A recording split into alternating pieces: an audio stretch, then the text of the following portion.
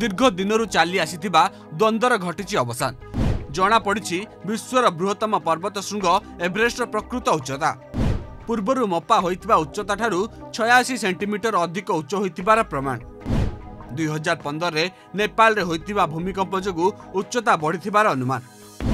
ଉଣେଇଶହ ଚଉବନ ମସିହାରେ ବିଶ୍ୱର ସର୍ବୋଚ୍ଚ ପର୍ବତ ଶୃଙ୍ଗ ଏଭରେଷ୍ଟର ଉଚ୍ଚତା ଆଠ ହଜାର ଆଠଶହ ଅଡ଼ଚାଳିଶ ମିଟର ବା ଅଣତିରିଶ ହଜାର ଅଠେଇଶ ଫୁଟ ବୋଲି ମାପ କରି ପ୍ରମାଣ କରିଥିଲା ଭାରତର ସର୍ଭେ ଅଫ୍ ଇଣ୍ଡିଆ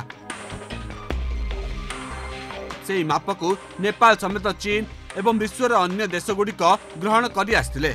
ତେବେ ବିଭିନ୍ନ ସମୟରେ ଏହାର ପ୍ରକୃତ ଉଚ୍ଚତାକୁ ନେଇ ଲାଗି ରହିଥିଲା ଦ୍ୱନ୍ଦ୍ୱ। ପ୍ରକୃତ ଉଚ୍ଚତା ଏହାଠାରୁ କମ୍ ହୋଇପାରେ ବୋଲି ମାପିଥିଲା ଏଭରେଷ୍ଟର କିଛି ଅଂଶକୁ ନିଜର ବୋଲି ଦାବି କରୁଥିବା ଚୀନ। ଚୀନର ମାପ ଅନୁସାରେ ଏହା ଭାରତର ମାପଠାରୁ ତିନି ଦଶମିକ ସାତ ମିଟର ବା ଏଗାର ଫୁଟ କମ୍ ବୋଲି ଜଣାପଡ଼ିଥିଲା। ତେବେ ଚୀନ ଏବଂ ନେପାଳ ମଧ୍ୟରେ ଏଭରେଷ୍ଟର ଉଚ୍ଚତାକୁ ନେଇ ଦ୍ୱନ୍ଦ୍ୱ ଲାଗି ରହିଥିବା ବେଳେ ନ୍ୟାସନାଲ ଜିଓଗ୍ରାଫିକ୍ ସୋସାଇଟି ଏବଂ ଅନ୍ୟ କେତେକ ସଂସ୍ଥା ଉପଗ୍ରହ ଭିତ୍ତିକ ଟେକ୍ନୋଲୋଜିର ବ୍ୟବହାର କରି ଏହାର ଉଚ୍ଚତା ଆଠ ହଜାର ଆଠଶହ ପଚାଶ ମିଟର ହେବ ବୋଲି ମାପ କରି କହିଥିଲେ। ତେବେ ଗତ ବର୍ଷ ମେ ମାସରେ ନେପାଳ ନିଜର ଏକ ବିଶେଷଜ୍ଞ team global navigation satellite system ବ୍ୟବହାର କରି ଶୃଙ୍ଗର ଉଚ୍ଚତା ମାପିବାକୁ ଚେଷ୍ଟା କରିଥିଲା।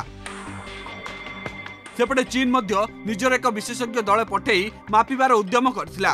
ଏବେ ଦୁଇ ଦଳର ଟିମ୍ ଦେଇଥିବା ମାପକୁ ବିଶ୍ଳେଷଣ କରି ଏଭରେଷ୍ଟର ପ୍ରକୃତ ଉଚ୍ଚତା ଆଠ ହଜାର ଆଠଶହ ଅଡ଼ଚାଳିଶ ଦଶମିକ ଆଠ ଛଅ ମିଟର ବୋଲି କୁହାଯାଉଛି। ଏହାର ଅର୍ଥ ଉଣେଇଶହ ଚଉବନ ମସିହାରେ ଭାରତ ମାପିଥିବା ଉଚ୍ଚତାଠାରୁ ଶୃଙ୍ଗ ମାତ୍ର ଛୟାଅଶୀ ସେଣ୍ଟିମିଟର ଅଧିକ ବୋଲି ଜଣାପଡ଼ିଛି। ତେବେ ଭାରତ ମାପିଥିବା ଉଚ୍ଚତା ଭୁଲ ନଥିବା ମଧ୍ୟ କୁହାଯାଉଛି। କାରଣ ଦୁଇ ହଜାର ପନ୍ଦରରେ ନେପାଳରେ ହୋଇଥିବା ବଡ଼ ଧରଣର ଭୂମିକମ୍ପ ଯୋଗୁଁ ଶୃଙ୍ଗର ଉଚ୍ଚତା ବଢ଼ିଥାଇପାରେ ବୋଲି କହିଛନ୍ତି ଅନେକ ଏଭରେଷ୍ଟ ଆହରଣକାରୀ ତଥା ବିଶେଷଜ୍ଞ। Report Argus News.